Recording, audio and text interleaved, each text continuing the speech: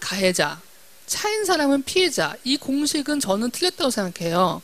둘 다 자신의 감정에 그냥 충실한 것 뿐이에요.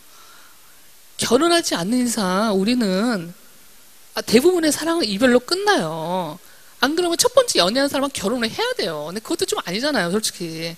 그러니까 사랑은 붙잡을 수 없고 기본적으로 흘러가는 거고 잘못한 사람은 아무도 없습니다. 사랑한다는 거는 상처받는 걸 내가 그냥 허락한다고 생각하시면 되고요.